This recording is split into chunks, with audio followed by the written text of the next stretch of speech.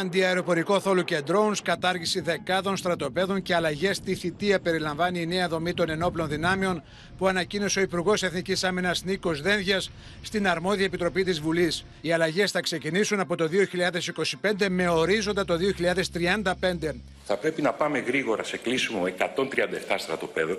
Γρήγορα, δεν ομιλάω για. Γρήγορα. Μέσα στο 25 αυτό να έχει τελειώσει.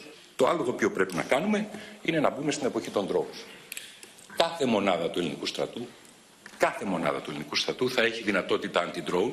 Πώς θα γίνει η μειώση των μονάδων με εξορθολογισμό και με ποιο τρόπο θα γίνει η αύξηση της στελέχωσης, λαμβάνοντας υπόψη τη σημερινή διαθεσιμότητα.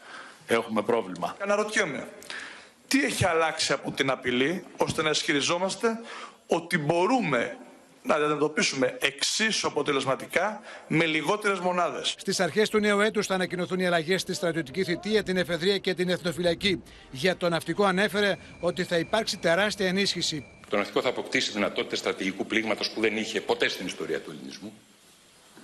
Θα εξηγήσω κλειστά, αν θέλετε, τι είναι αυτό. Και επίσης αποκτά τη δυνατότητα αντιρροπορική άμυνας περιοχής. Είναι παράδοξο η σημερινή ενημέρωση